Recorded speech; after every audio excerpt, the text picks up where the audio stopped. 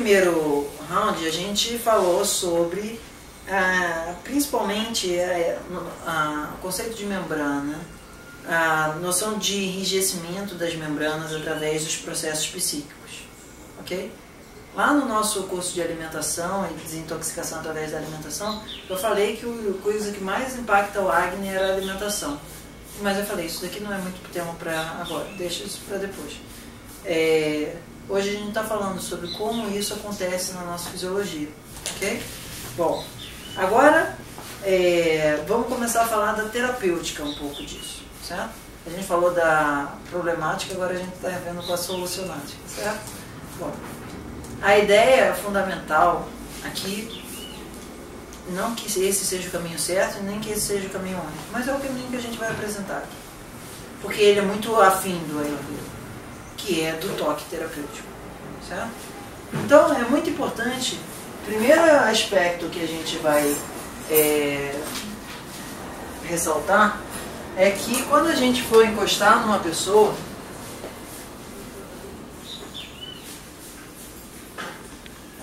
o ato da nossa mão vir encostar nessa pessoa pode ser feito de duas formas. Uma de uma maneira mecânica e outra de uma maneira prânica.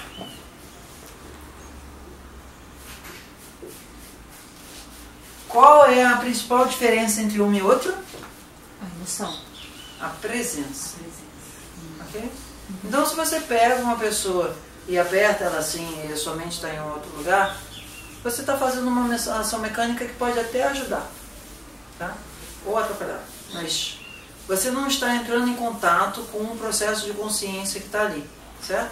Então, o principal ah, aspecto de um contato terapêutico é quando você for encostar na pessoa, a sua mente está encostando na tua mão.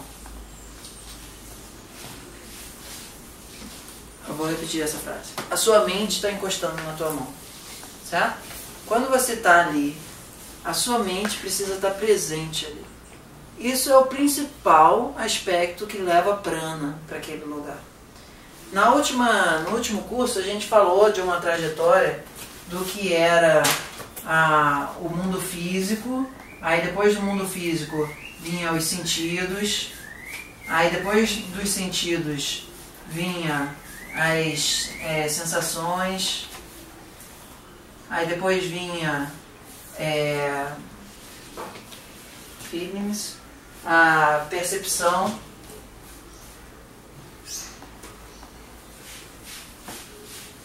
E no final de tudo, eu não vou me alongar aqui muito, porque não é o nosso ponto hoje, é a presença, awareness. Ok? Então, aqui tem um, três pontinhos que eu comi um pouco da história, porque é, esse não é o nosso foco hoje. Quando você encosta na pessoa e a sua mente está presente ali, o que está acontecendo? Fluxo de prana está sendo colocado de volta no sistema. É que nem você encostar no posto de gasolina e deixar o carro parado lá, ou você encostar no posto de gasolina e a bomba de gasolina entrar dentro do carro. Você parar dentro do posto, você pode ser legal para fugir da chuva, de repente ir no banheiro, qualquer coisa assim. Mas encher o tanque é a presença do terapeuta. Pode ser você mesmo, certo? É, reiki, jorei, são medicinas de presença do divino, certo? Que não é você que faz, mas o simples eh, aspecto de você abrir canal para o divino, ele pode atuar. Diksha também, benção, essas coisas. É, na nossa cultura católica, isso é a bênção do Papa, a bênção do Padre, etc. E tal. A presença de um coração é, com a intenção do cuidado, ela é extremamente potente em termos terapêuticos. Certo? A pessoa pode ser o técnico mais incrível em termos de massoterapia, cristais, alguma coisa assim.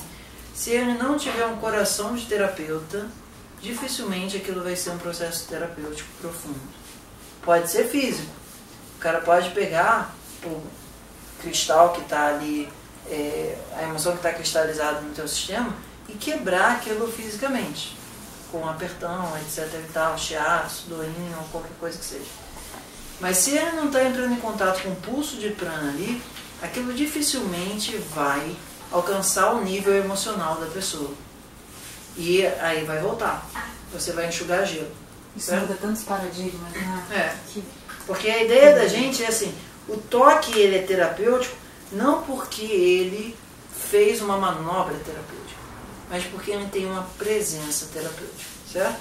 E o que, que é ah, fundamental na, no momento de você fazer um toque terapêutico? Primeiro, você querer o bem daquela pessoa. Segundo, em um certo sentido, você pedir permissão daquele ambiente, daquele corpo, de se conectar com ele. Depois você falar assim, olha, eu vim aqui, estou disposto a te ajudar se você quiser. Você quer? Você não é assim, olha, estou pedindo uma autorização. É assim, você está perguntando, você quer? Assim, porque ela pode te autorizar sem querer, entende? Assim, tipo, é, vai lá, não sei o que. Não, assim, você quer? Seu coração está aqui para isso? Isso não, melhor fazer outra coisa. Isso verbalmente, né? Não, não, nem precisa. Não precisa ser verbal. Tá? É, se você quiser fazer isso verbal, não tem o menor problema também. Mas às vezes só verbal não adianta. Ok? Isso tem que ser também de dentro de você. E a gente vai fazer umas dinâmicas aqui para é, vivenciar isso de uma maneira menos viajandona.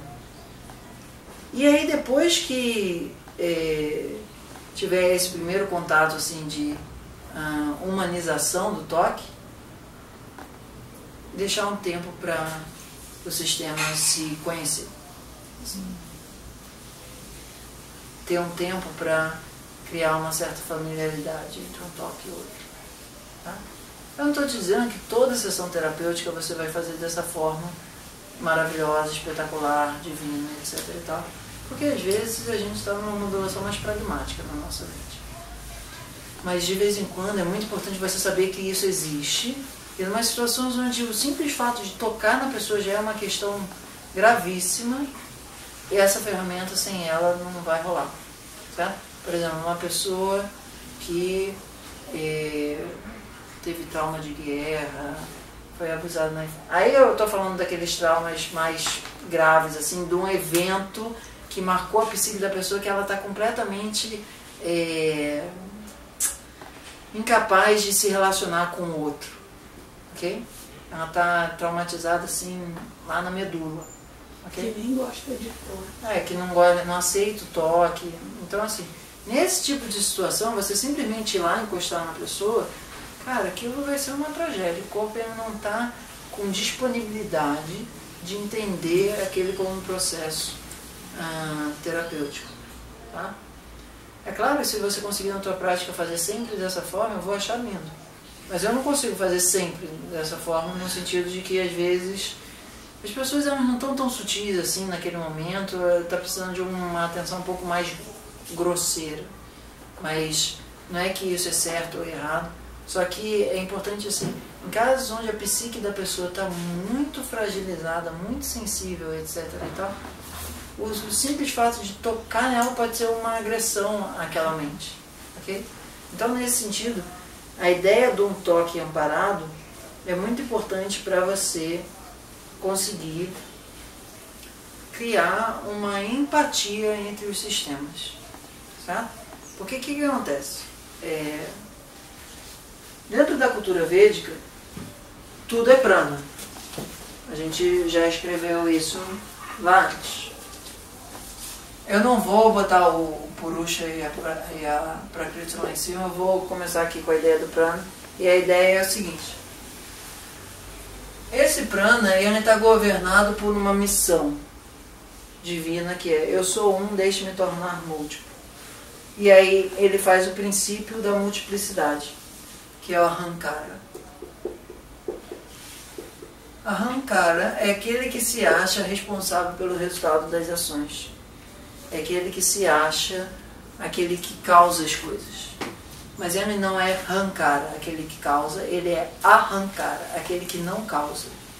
Mas ele tem a mania de achar que é assim, e a gente normalmente traduz isso como ego. Ok?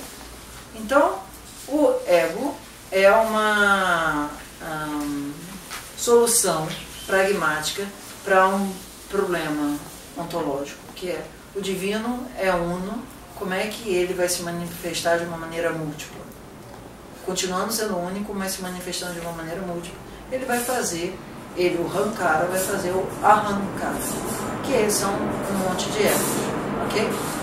E esse monte de ego, ele é basicamente o seguinte, olha, esse daqui é A, esse daqui é B. Qual é a definição de arrancar? Existe uma separação. Certo? Porque se eu sou A e B, o ego, num sentido mais restrito, não está ali. Uhum. Qual é a, o primeiro contato, assim, o contato mais natural de desidentificação do ego que a gente normalmente tem fácil na nossa cultura? Amor de mãe ele é, digamos assim, a, forma mais hum, usual que as pessoas vivenciam espiritualidade sem chamar dessa forma. Amor de mãe é aquele que A e B é uma coisa só, não tem essa. Assim. Se eu tiver que me jogar na frente do carro para salvar o meu filho, é muito provável que eu faça. Nesse sentido de que aquilo dali é minha parte, aquilo dali sou eu. Isso é relativamente fácil da gente falar, porque veio de dentro da mãe, né? então ainda se mantém uma certa relação é, física ali. Mas isso pode ser de um filho que não, você não pariu também, ok? Então a ideia de ego implica em, por definição, multiplicidade através da separação. Se você não tem separação, você não consegue fazer multiplicidade. E para você fazer multiplicidade, você precisa de separação. Como é que o A é diferente do B? Essa parece ser uma questão simples, mas não é tão simples assim. Ela precisa ser diferente, ela precisa ser distinta, ela precisa ser separada. Ok? Então a gente, quando está encostando numa outra pessoa, a princípio A é diferente de B. Certo? Como é que a gente faz para A e B convergirem para um C. Isso precisa ser, em um certo sentido, negociado. Não veio de graça. O que, que significa isso? Quando a gente vai encostar na pessoa, a gente precisa ter a consciência de que aqui no toque pode ser que não seja é, bem-vindo. Pode ser que a pessoa não consiga receber aquele toque. Pode ser, tem pessoas com casos assim mais complicados de traumas uh, de toque, e normalmente situação de abuso, que ela quer ser tocada, mas ela não consegue ser tocada, certo? Há um desejo interno dentro da célula de assim, eu preciso do toque, mas a membrana externa está enrijecida falando, se vier toque, isso vai é, ativar um monte de trauma psíquico que está congelado aqui dentro. Ok? Então, aspectos, agora é hora de anotar. Aspectos importantes para um toque terapêutico. Criar uma postura interna dentro de você, de procurar estar é, tá disponível para ajudar, e não de ajudar Muita atenção nessa distinção. Como que é? Pode. Está disponível para ajudar e não uma intenção de ajudar. Mas criar um... um ambiente interno de ter a disponibilidade ou a caixa de ajudar, mas é do tipo assim, olha, eu estou aqui para ajudar. Se você quiser que eu ajude, eu posso me mover nesse sentido. Se você não quiser que eu ajude, eu não vou te obrigar. Ficou claro essa distinção? Bom, esse é o primeiro aspecto. Você, como terapeuta, não precisa ajudar ninguém. Se você, como terapeuta, precisa de ajudar, como, ajudar alguém, a única pessoa que você precisa ajudar é você. Tá? Você, como terapeuta, deve é, se disponibilizar a ajudar aquelas pessoas que querem a sua ajuda. Se você está querendo ajudar alguém, não é como terapeuta. É como amigo, é como filho, é como tio, é como um papagaio, que seja. Mas não é como terapeuta. A função do terapeuta é dar suporte para as pessoas que querem ser ajudadas. Médico não é isso. Médico ele pode ter uma autorização de, legal de é, evitar que a pessoa se suicide, que seja qualquer coisa assim. Mas o terapeuta não tem essa obrigação legal. Assim, o médico, ele, pelo menos na nossa cultura, ele tem que ajudar independente da vontade dele de querer ajudar ou não. Se ele se omitir a prestar socorro, é um crime, ok? Terapeuta não.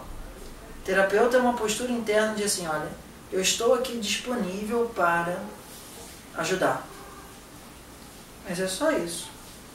É o, o movimento de. Um é o de. É, o, depois eu vou mostrar para você, é, para vocês o livro do Bodywork, um livro que eu fiquei lendo para é, montar uma parte desse workshop.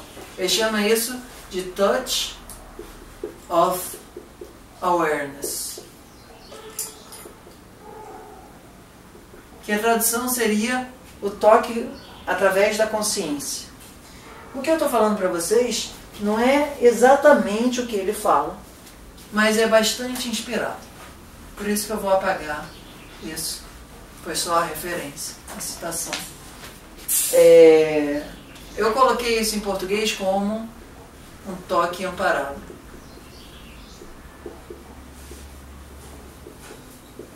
Ok? Então, o primeiro aspecto é a disponibilidade.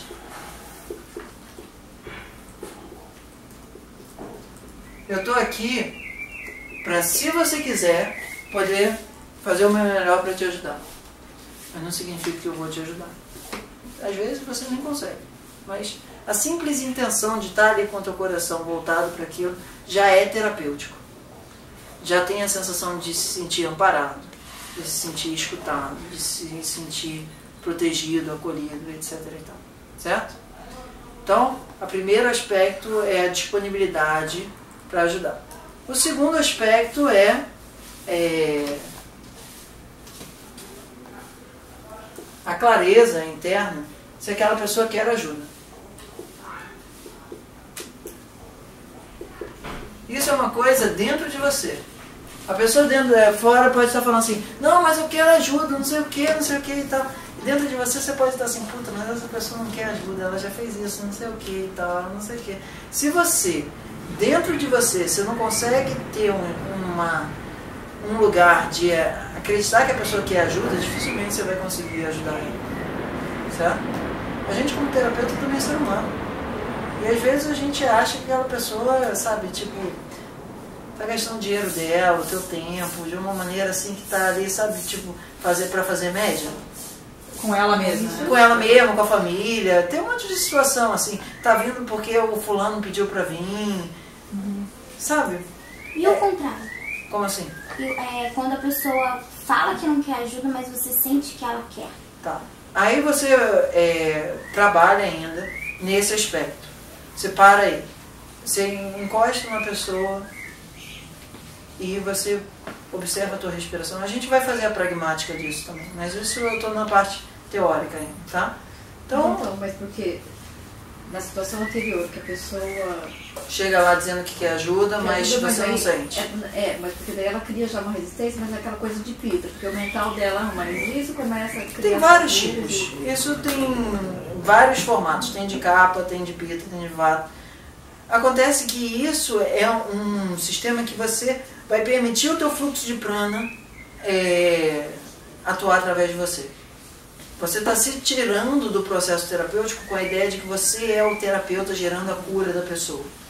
Você está começando a vivenciar aquilo como um processo de prana se reorganizando. E você está ali no meio do caminho. Mas o teu papel é muito mais tirar os obstáculos teus do processo do que exatamente fazer o processo em si. Ok? Então, primeiro aspecto, disponibilidade interna. Eu é, é, quero estar disponível para ajudar essa pessoa se ela quiser. Segundo aspecto é, bom, eu sinto que essa pessoa quer ser ajudada. Você pode perguntar, ficar fazendo perguntas, tipo, mas eh, você pode eh, buscar se convencer disso também. Mas dificilmente seu coração vai estar 100% presente ali se você não estiver confiante que a pessoa realmente quer ajuda. Tá? Aí o é, terceiro aspecto eu chamei de bom dia. Namastê. O que, que significa isso? Talvez nessa hora você já encoste na pessoa. Talvez você ainda esteja encostando só no corpo energético dela. Você chega perto dela e faz uma reverência, assim, tipo, oi, sabe, se apresenta. Eu sou o Tiago, eu tô aqui. Você não está conversando com a cabeça dela. Você está conversando com o corpo dela. Com a parte que acessa ela sem que ela esteja percebendo que está acessando ela. Se você, quando encosta ou chega perto da pessoa, você sente que a musculatura dela se contrai, etc. e tal, dá uma afastada. Chega até o ponto onde aquilo ainda não aconteceu. Fica ali. Cria intimidade com aquele nível. Quando aquele nível relaxar, você vai um pouco mais. Aí aquele nível não gerou nenhuma contração no corpo físico, está relaxando o corpo físico, você aproxima um pouco mais. Cada uma dessas camadas que a gente está aproximando, a gente está atuando numa parte do corpo energético da pessoa. Até que eventualmente você encosta no corpo da pessoa e o corpo da pessoa vai assim. Certo? Essa sensação é uma sensação de segurança e apoio.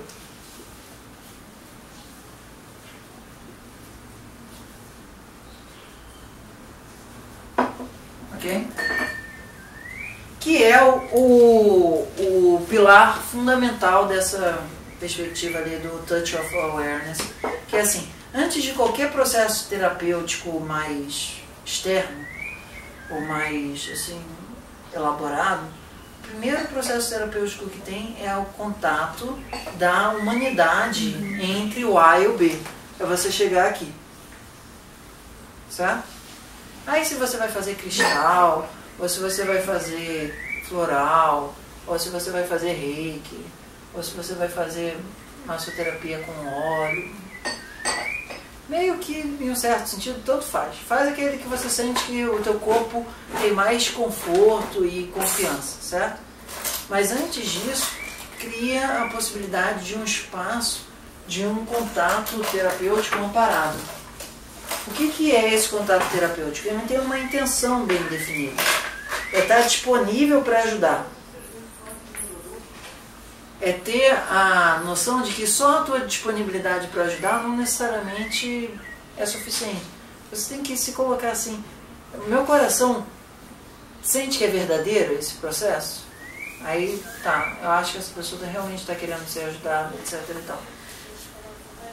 Bom, então a gente está falando entre dois seres humanos, a gente não está falando através de uma relação comercial que a pessoa está me pagando X para eu atender ela, certo? Isso também existe, mas isso não é o fundamental do toque terapêutico. É relativamente mais fácil você fazer um toque terapêutico sem estar sendo pago do que sendo pago. Porque sendo pago, muitas vezes você está querendo o dinheiro e se o dinheiro não entrar, e aí você está preocupado com outra coisa. Mas isso não quer dizer que todo toque terapêutico tem que ser não pago também. Eu só estou querendo dizer assim que só pelo fato de você estar num consultório com um terapeuta não quer dizer que aquele contato está sendo terapêutico. Não quer dizer que todos os contatos terapêuticos têm que ser num ambiente formal. Ok? Bom, às vezes uma mãe fazendo um cafuné é um mega processo terapêutico, na é verdade, uma avó, sabe, botando no colo, tudo isso envolve essas coisas. Se você for ver, é, quando a avó pega o filho, o, o neto e fala, não, você tem que ficar no meu colo, o neto.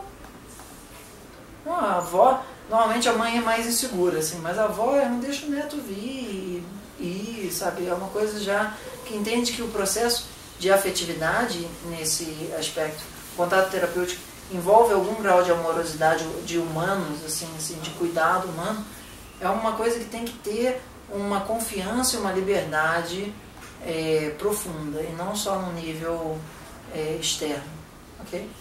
A pessoa que está sendo cuidada e a pessoa que está cuidando, elas têm que ter uma empatia, uma afinidade muito grande.